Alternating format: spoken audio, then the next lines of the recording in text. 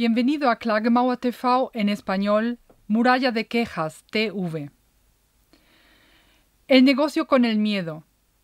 La mayor fuente de ingresos a nivel mundial es la medicina.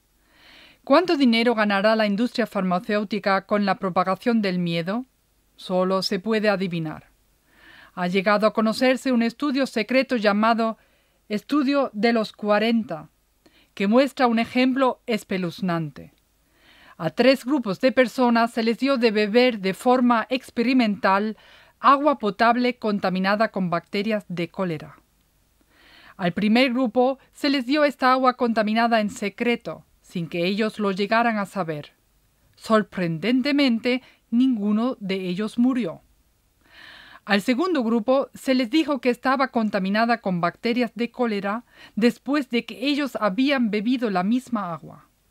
A continuación murieron casi todos. Al tercer grupo se les dio agua potable pura, sin embargo, se les mintió diciendo que ellos habían bebido el agua contaminada con cólera.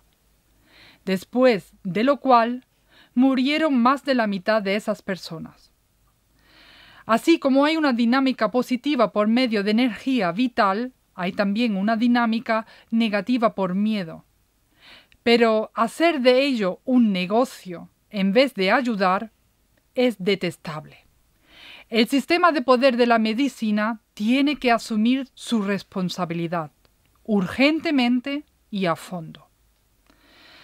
Muchas gracias por su atención y hasta pronto aquí en el estudio de Murallas de Quejas TV en español.